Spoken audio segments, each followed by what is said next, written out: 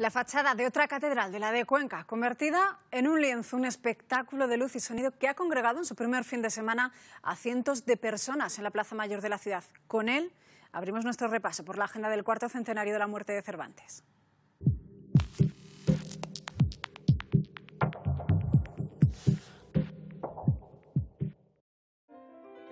Una plaza mayor abarrotada para disfrutar de los primeros pases del espectáculo de luz y sonido sobre la fachada de la catedral.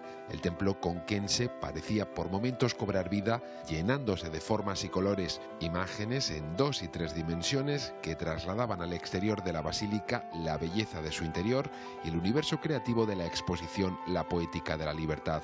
Decenas de rostros de refugiados, guiños al artista chino Ai Weiwei y por supuesto a la figura de Don Quijote de la Mancha nosotros estamos muy contentos, creemos que la gente lo ha disfrutado y os invitamos a todos a que, a que vengáis a verlo. Un festival de color que volverá a repetirse los días 23 y 24 de septiembre y 28 y 29 de octubre.